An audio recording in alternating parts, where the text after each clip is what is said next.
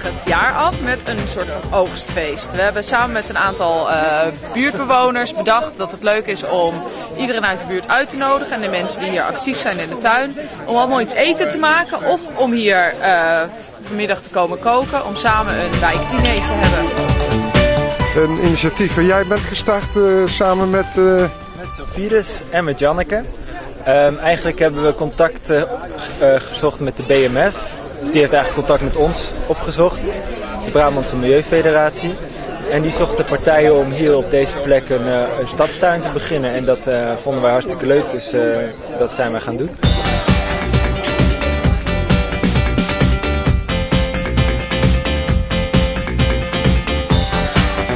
Uh, de gemeente vindt het leuk als er uh, mensen in de buurt samen dingen opzetten en samen ja, eigenlijk invulling gaan geven van de openbare ruimte. Ze willen dat steeds meer naar de burgers overlaten. En dit is dus een initiatief waarbij de openbare ruimte zowel veel mooier wordt, en, maar ook eigenlijk een samenkomst ja, een plek is waar mensen uit de buurt kunnen samenkomen en ja, elkaar kunnen ontmoeten. En dat is iets wat de gemeente heel graag wil. We kunnen nu oogsten van alles wat we in het voorjaar hebben gezaaid. En de tuin gaat gewoon weer uh, van start in februari. We blijven nu ook nog wel even doorgaan hoor. Maar in de winter is het toch altijd een stuk rustiger in de tuin.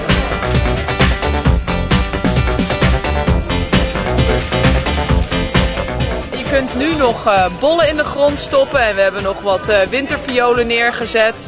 En je kunt in de herfst heel goed allerlei struiken en boompjes planten, zodat die in het voorjaar direct kunnen gaan groeien.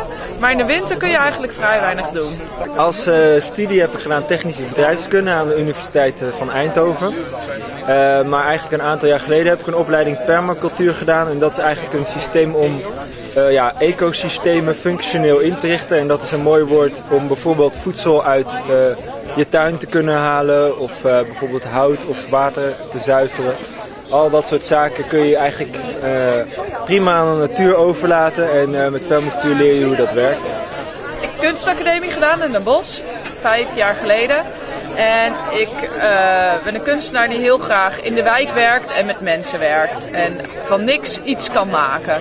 Dus ik vind het heel erg leuk om uh, op brakenliggende stukjes grond of op lelijke stukjes straat of op plekken waar het, waar het gewoon niet prettig is iets te maken wat wel leuk en mooi is. Samen met mensen die daar wonen. Om daar oplossingen voor te bedenken. En daar is dit een voorbeeld van denk ik.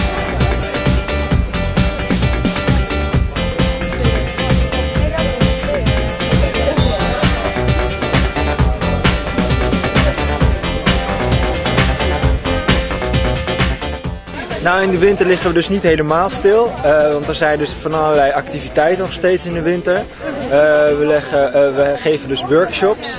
daar nodigen we heel vaak mensen voor uit. Workshops om te leren hoe je dus beter eten kan kweken. Makkelijker op verschillende plekken, zoals bijvoorbeeld binnen. hoe je eigenlijk zonder veel te investeren toch je grond heel vruchtbaar kan krijgen. Dat soort dingen. Um, en verder doen we bijvoorbeeld mee aan de Cultuurnacht, 27 oktober. Um, dan zijn er hier bandjes, dichters. Uh, er is een interessante voorstelling uh, waarbij, we van, waarbij een paar jongens van een grote boomstam een uh, picknicktafel maken met allemaal kettingzagen en zo. Heel spectaculair. kampvuurtje. nou, de net gemaakte bar zal geopend zijn. Dus kom zeker 27 oktober ook een keer langs om ook eens kennis te maken hier en van een mooie avond te genieten